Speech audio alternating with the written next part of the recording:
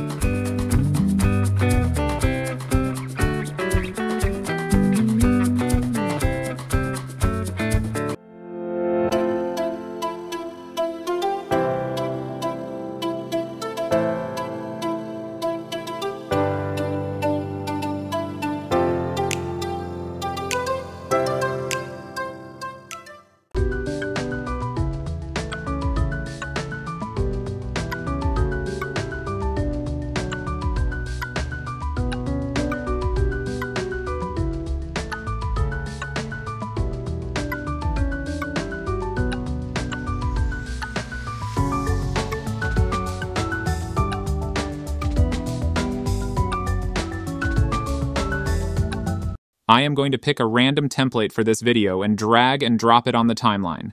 Click on the Replace Material option, and a new window will pop up. Click on the Expand template. This will display all of the elements used in the template in the timeline. Here, easily edit the text, images, videos, and other information. To change images or videos, import your videos and drag and drop them on the video you want to change. You change the text right up by clicking on them and type in your desired text. You can also change the font, color, size, and animation if you want. When you are done, you can preview your work and export the video into your computer.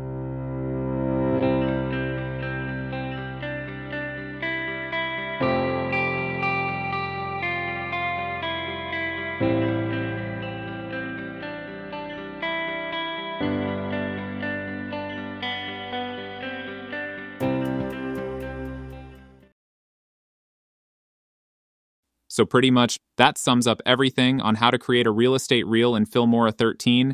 If you found this video helpful, click the red subscribe button and like to support the channel. To get Filmora 13, click the link in the description to get 20% off your subscription.